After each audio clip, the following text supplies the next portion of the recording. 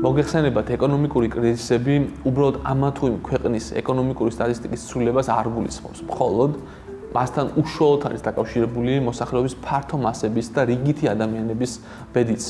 მაგალითად, უმუშევრობის ყოველი ზრდა იწვევს მოსახლეობის ფართო მასების ხელმისაწვდომობის შეზღუდვას, მაგალითად, სამედიცინო სერვისზე, ბავშვებისთვის განათლებისა და კეთილდღეობის სერვისებისადმი წვდომის შემცირებას. ის იწვევს სიღარიბეს და ასევე სოციალური უსაფრთხოების ქსელების მოშლას. როდესაც ეკონომიკური კრიზისები ხდება და უმუშევრობა იზრდება, ადამიანები კარგავენ შემოსავლებს. შესაბამისად, რადგანაც რიგითი ადამიანების ხარჯები სხვა ადამიანებისთვის ეს არის შემოსავლები, მათი ხარჯების შემცირება სხვა ადამიანებსაც უმცირებს შემოსავლებს. შესაბამისად, კრიზისი ეს არ არის ინდივიდუალური ტრაგედიები, მხოლოდ ეს არ არის მხოლოდ ინდივიდუალური პასუხისმგებლობის სფერო, არამედ ის არის სოციალური მასშტაბის მოვლენა და შესაბამისად მას ჭირდება საზოგადოებრივი პასუხიც. ბევრს შეიძლება გახსოვდეთ ერთი პატარა სცენა ცნობილი ფილმიდან დიდი შემცირება, რომელიც ამ მაიკ ლუისის ამავე სახელწოდების ციგნის ეკრანიზაციაა და მოგვითხრობს 2008 წლის დიდი ფინანსური რეცესიის შესახებ. ამ სცენაში ბრედ პიტის პერსონაჟი ბენ რიკეტი ლას-ვეგასში სეირნობს ორ უოლ-სტრიტელ კოლეგასთან ერთად. რომლებიც აღტაცებულნი არიან იმით, რომ ფსონი, რომელიც მათ ამერიკის ეკონომიკის კრიზისის გამოცნობაზე გადეს, ძალიან სარფიან მოგებას მოუტანს მათ. ბრედ პიტის პერსონაჟი რიკეტი საყვედურობს მათ, თუ რატომ უხარიათ ეს? როდესაც უმუშევრობა 1%-ით იზრდება, 40000 ადამიანი იღუპება. ეუბნება ის მათ. You have any idea what you just did?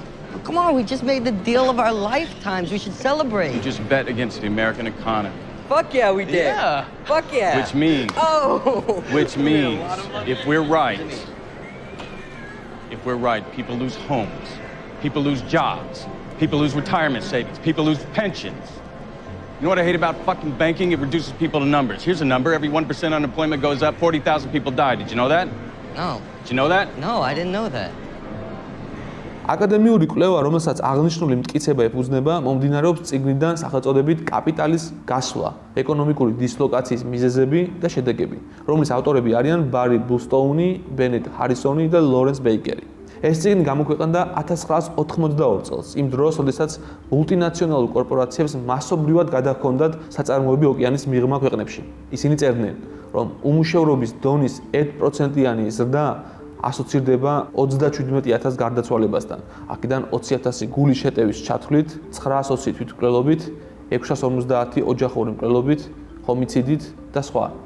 მიუხედავად იმისა, რომ 1991 წელს ამერიკაში ჩატარებული ეს კვლევა იმ დროინდელი კონტექსტი და ვითარება გარკვეულწილად განსხვავდება თანამედროვე ვითარებისგან, ეს კვლევა გარკვეულწილად რელევანტურობას მაინც ინარჩუნებს, რამე თუ ის ასახავს ერთგვარ ტრენდს, რომელიც ყოველთვის და ასევე საფრთხეს, რომელიც ყოველთვის მოყვება კრიზისებს.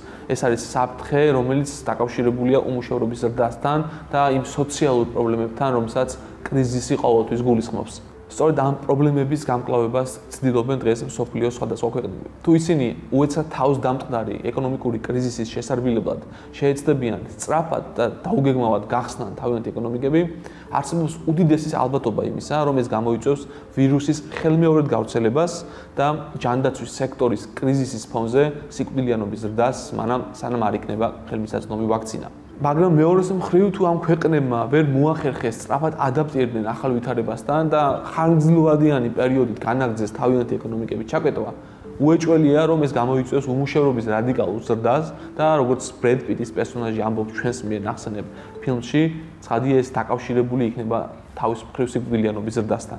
კორონავირუსის პანდემიამ ყველაზე და ყველაფერზე მოახდინა გავლენა. შესაბამისად, მასზე პასუხიც უნდა იყოს როგორც სწრაფი, ასევე გლობალური. პანდემია პირველ რიგში წარმოადგენს როგორც ჯანდაცვის სფეროს კრიზისს, ის უკვე წარმოადგენს განათლების სფეროს კრიზისს, დასაქმების და ეკონომიკის სფეროს კრიზისს და ზოგიერთ ქვეყანაში მას ემატება მართლობისა და პოლიტიკური სტაბილურობის კრიზისიც. სოფლიო ბანკის შეფასებით, გლობალურ პროცესებზე ამ კრიზისების გავლენა იქნება ძალიან დიდი და გრძელვადიანი შედეგების მომტანი. განსაკუთრებით ამას გავლენა ექნება ეკონომიკურად ღარიბ და ეგრეთ წოდებულ განვითარებად ქვეყნებზე, რომელთა მოსახლეობის დიდი ნაწილი ვირუსით დაინფიცირების გარკვეული რისკის ქვეშაა და მათ გააჩნია ნაკლები სამედიცინო რესურსები და ინფრასტრუქტურა და ასევე მოსახლეობის მასობრივი ტესტირების შესაძლებლობებიც. რომელიც ამ ეტაპზე ერთადერთი გზაა ერთის მხრივ მეტნაკლებად აკონტროლო ვირუსის გავრცელების მასშტაბი და მეორეს მხრივ შეინარჩუნო მინიმალური ეკონომიკური აქტივობა. ჯერ კიდევ არსებობს დიდი გაურკვევლობა იმასთან დაკავშირებით, თუ რა გავლენა ექნება COVID-19-ის პანდემიას სოფლიო ეკონომიკაზე და რა ტიპის საფასუხო ნაბიჯები იქნება გადადგმული მთავრობების მხრიდან, რათა მათ უზრუნველყონ, რომ მინიმუმამდე დაიყვანონ პანდემიით გამოწვეული უარყოფითი როგორც ადამიანური, ისე ეკონომიკური ეფექტები. სხვადასხვა საერთაშორისო ორგანიზაციას განსხვავებული პროგნოზები და მოლოდინები აქვს 2020 წლის გლობალური ეკონომიკის შედეგებთან დაკავშირებით. მაგალითად, შევხედოთ მაისის თვეში გამოქვეყნებულ კვლევებს.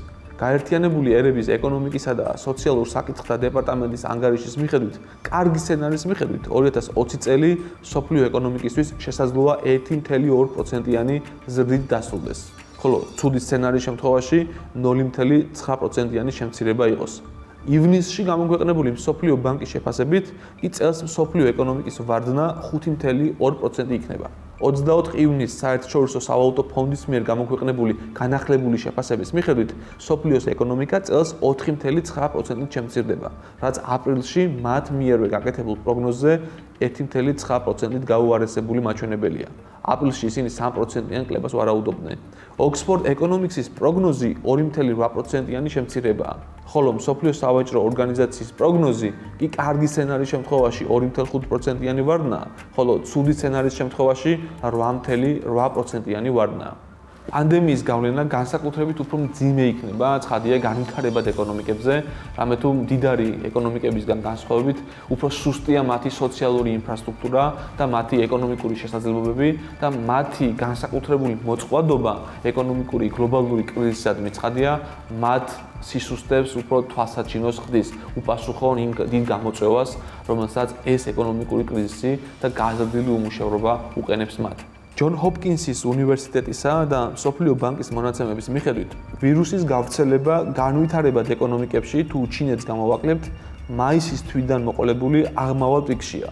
რაც ამ ქვეყნების მთავრობებს აიძულებს უფრო ხანგრძლივად შეინარჩუნონ სოციალური დისტანცირების შეზღუდვები და კიდევ დიდხანს შეზღუდონ გარკვეული ეკონომიკური აქტივობები, რომლებიც ქვეყნებს შორის ადამიანების გადაადგილებასთან იქნება დაკავშირებული. მაგალითად, ეს დიაგრამა გვიჩვენებს დაბალი შემოსავლის მქონე ქვეყნების მიერ გატარებულ შემზღუდავ ღონისძიებებს სოციალურ დისტანცირებასთან დაკავშირებით, რომელიც შეეხებოდა სკოლების დახურვას, სამოგზაურო აკრძალვებს და სხვადასხვა ტიპის მონეტარულ და ფისკალურ ღონისძიებებს.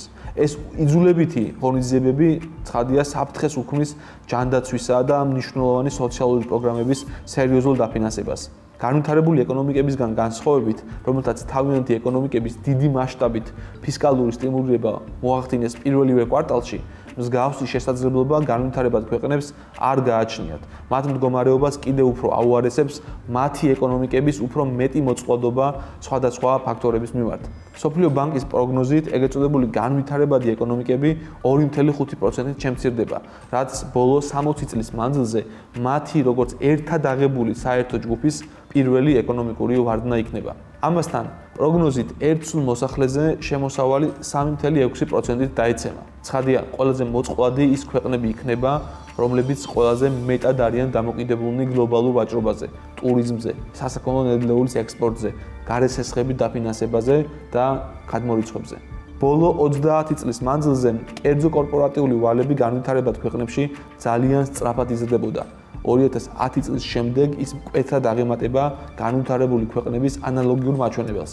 როგორც სოფლიო ბანკის ეკონომისტები აღნიშნავენ, 2010 წლიდან ვალების ზრდის უმეტესი ნაწილი მოდის განვითარებად ბაზრებსა და განვითარებად ეკონომიკებზე, რომელთა ვალებმაც მათი მთლიანი შიდა პროდუქტის 54%-დან მთლიანი შიდა პროდუქტის 170%-ს მიაღწია. მიუხედავად ვალების მკვეთრი ზრდისა, ამ ეკონომიკებში ეკონომიკური ზრდა არც თუ ისე სახარბიელო იყო და შექმნილ მყიფე გლობალურ ეკონომიკურ სიტუაციაში ცხადია მათი შემდგომი ზრდის პერსპექტივებიც სუსტია. ამ ვალების უმეტესობა აღებულია დოლარში. შესაბამისად, მათი ვალუტების ღირებულების დაცემისა და დოლარის გამყარების პარალელურად კეთრად იზრდება ამ ვალების ღირებულებაც. იქედან გამომდინარე, რომ განვითარებადი ქვეყნების უმეტესობას, როგორც კერძო სექტორს, ასევე მთავრობებს, დიდი ვალები აქვს უცხოურ ვალუტაში, ეს კრიზისი ზოგიერთ მათგანს დეფოლტის საფრთხესაც უქმნის. როგორც წესი, ნორმალურ ვითარებაში მათ ამ სესხების დაფარვა შეუძლიათ ახალი სესხების აღებით და ძველი რეფინანსირებით. მაგრამ კრიზისის პერიოდში ფინანსური კრედიტორები ცხადია ცდილობენ უფრო სარფიანად და ძვირად გაასესხონ თავიანთი ფული, რაც ღარიბი ქვეყნებისთვის ართულებს ყველაზე საჭირო დროს, ყველაზე საჭირო სესხებზე წვდომას. გაეროს მიერ ახლახან გამოქვეყნებული მონაცემებით წელს და მომავალი წლის ბოლომდე განვითარებადი ქვეყნები ვალდებულნი არიან დაფარონ 3.4 ტრილიონამდე მოცულობის ვალის სესხი. ამიტომ გაეროს ეკონომიკურმა დეპარტამენტმა მოუწოდა მდიდარ ქვეყნებს და შესაბამის საერთაშორისო ფინანსურ ინსტიტუტებს 2.5 ტრილიონი დოლარის მოცულობის სესხების რესტრუქტურიზაციისკენ. აქედან 1 ტრილიონამდე სესხის რესტრუქტურიზაცია საერთაშორისო სავალუტო ფონდის პრეროგატივაა. ამ სესხების რესტრუქტურიზაცია და ნაწილის ჩამოწერა მნიშვნელოვანია, რათა განვითარებად ქვეყნებმა მოახერხონ ჯანდაცვის სფეროსა და ეკონომიკაში არსებულ გამოწვევებთან ადაპტაცია. გლობალური კრიზისებისას ყოველთვის როგორც წესი, კერძო კაპიტალი და ინვესტიციები განვითარებადი ქვეყნებიდან გაედინება განვითარებული ქვეყნებისაკენ. რადგანაც ამ შექმნილ სიტუაციაში მაღალი რისკების გამო კაპიტალი ცდილობს უფრო უსაფრთხოდ გამოიზამთროს და თავი არიდოს იმ რისკებს, რომელსაც განვითარებად ქვეყნებში გაკეთებული ინვესტიციები ქმნის. ამიტომ ისინი უარს ამბობენ განვითარებადი ქვეყნების ბაზრების ფასიან ქაღალდებზე. ესე იგი ისინი ყიდიან ამ ქვეყნების თავრობის ვალის ობლიგაციებს, როგორც აქტივებს, ასევე ამ ქვეყნების კომპანიების აქციების წილებს. მაგალითად, საერთაშორისო ფინანსური ინსტიტუტის მონაცემებით, ჯერ კიდევ მარტის თვეში 80 მილიარდი დოლარის მოცულობის ფინანსური კაპიტალი გაედინა 20 განვითარებადი ქვეყნიდან. მაგალითად, როგორიც არის ინდოეთი, ჩინეთი, სამხრეთ აფრიკა, თურქეთი. ასეთ მოკლე პერიოდში ეს მაჩვენებელი აღემატება 2008 წლის პერიოდში დაფიქსირებულ კაპიტალის გადინებას. რიგი განვითარებადი ქვეყნები მთელი ეს პერიოდი ძლიერ იყვნენ დამოკიდებულნი უცხოურ სესხებზე თავიანთი ინფრასტრუქტურული პროექტების დასაფინანსებლად. მაგალითად, თურქეთი, რომლის ბოლო პერიოდის ერთ-ერთი ყველაზე მასშტაბური ინფრასტრუქტურა, სტამბოლის ახალი აეროპორტის დაფინანსების მთავარ წყაროს უცხოური სესხები წარმოადგენდა. ბოლო წლებში ამერიკის დაბალი საპროცენტო განაკვეთით შეგულიანებულმა განვითარებადმა ქვეყნებმა დიდი რაოდენობის დოლარში დენომინირებული სესხები აიღეს. უკანასკნელი თვეები კი ცხადყოფს, რომ როდესაც ინვესტორები სწრაფად ყიდიან ამ ქვეყნების ვალის ობლიგაციებს, განვითარებადი ქვეყნები იძულებულნი არიან უფრო მეტი პროცენტი გადაიხადონ სესხების მოსაზიდად, რაც მათი ვალის ტვირთს მთლიანში და პროდუქტთან მნიშვნელოვან გაზრდის, რაც ცხადია ძალზედ მკივნეულია განსაკუთრებით იმ დროს, როდესაც ამ ქვეყნების ექსპორტის შემოსავლები პეტრად ეცემა. მიუხედავად იმისა, რომ განვითარებადი ქვეყნების პრობლემები სხვადასხვა რეგიონების მიხედვით შეიძლება განსხვავებული იყოს, რაც დამოკიდებული ასევე მათ ეკონომიკურ სტრუქტურაზე, საინტერესო ასევე ის, რომ მათი ეკონომიკების სტრუქტურული პრობლემები მსგავსი ტიპის ეკონომიკური პრობლემების წინაშეც დგანან. მათი უმეტესობა დამოკიდებულია ტურიზმიდან და საერთაშორისო მოგზაურობიდან მიღებულ შემოსავლებზე, რაც საშუალოდ მათი მთლიანი შიდა პროდუქტების 10-11%-ს უტოლდება. ტურიზმის სფეროს წილი მთლიან დასაქმებაშიც ხშირად ანალოგიურია. ამასთან ტურიზმის სექტორი ყველაზე მეტი გადამდები ეფექტის მქონე სექტორია, რადგან მასთან პირდაპირ დაკავშირებულია მაგალითად კვების მრეწველობის სფერო, სოფლის მეურნეობა, მშენებლობის სექტორები და ასე შემდეგ. შესაბამისად, ამ სექტორის რეცესია ავტომატურად გადამდებია ეკონომიკის სხვა სექტორებზეც. მრავალი დაბალშემოსავლიანი და სუსტი ეკონომიკის მქონე ქვეყნისთვის ამ არსებულ ეკონომიკურ კრიზისს კიდევ უფრო ართულებს გზავნილებისა და გადმორიცხვების მოცულობისა და ღირებულების დაცემაც. გადმორიცხვები ეს არის ის თანხა, რომელსაც უცხოეთში მყოფი ემიგრანტები და იქ დროებით დასაქმებულები თავიანთ ქვეყნებში აგზავნიან. ფულად გზავნილებს დაბალი შემოსავლის მქონე ქვეყნებში სასიცოცხლო მნიშვნელობა აქვს, როგორც შინამეურნეობების მხარდაჭერის კუთხით, ასევე ის უზრუნველყოფს საჭირო საგადასახადო შემოსავალს ბიუჯეტში. 2018 წლის მდგომარეობით ამ ქვეყნებში გზავნილების ნაკადებმა 350 მილიარდ დოლარს მიაღწია და გადააჭარბა უცხოურ პირდაპირ ინვესტიციებს, პორტფელის ინვესტიციებსა და უცხოურ დახმარებას. ზოგიერთი დაბალშემოსავლიანი ქვეყნისთვის ფულადი გზავნილები მთლიან შიდა პროდუქტის 10%-ს წარმოადგენს და ეს გადმორიცხვები ასევე აფინანსებს ამ ქვეყნების უარყოფით სავაჭრო ბალანსს და ასევე წარმოადგენს მნიშვნელოვან საგადასახადო შემოსავალს იმ ქვეყნებში, რომლებიც DGG-ს შემოსავლებს ეყრდნობიან. სხვადასხვა კვლევის მიხედვით გლობალური ფულადი გზავნილები პანდემიის გამო დაახლოებით 20%-ით შემცირდება 2020 წელს, რაც ხადია კიდევ უფრო გაართულებს ღარიბ ქვეყნებში ოჯახების მდგომარეობას.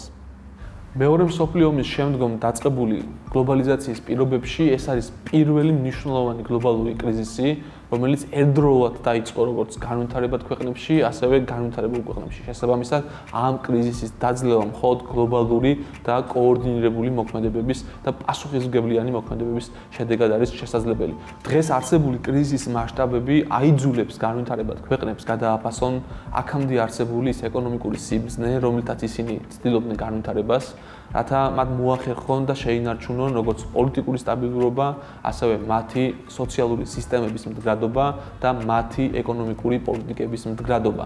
ეს არის მომენტი, რომელიც საჭიროებს განვითარების გადააზრებას და ჩვენ ისტორიიდან შეგვიძლია ვნახოთ სხვადასხვა მაგალითები სხვადასხვა პერიოდებში თუ როგორ მოახერხეს ამა თუ იმ ქვეყნებმა მსგავსი ტიპის სოციალური ეკონომიკური პრობლემების გადაჭრა და პასუხები რომელთაც ეს ქვეყნები ამ მასშტაბის კრიზისის გასამკლავებლად იპოვიან ნიშნულოვან განაპირობებს ხვალინდელი დღის გლობალური პოლიტიკის და ეკონომიკის არქიტექტურის განსაზღვრას მე ვარ მათე გაბიცინაშვილი ეს 42 პარალელია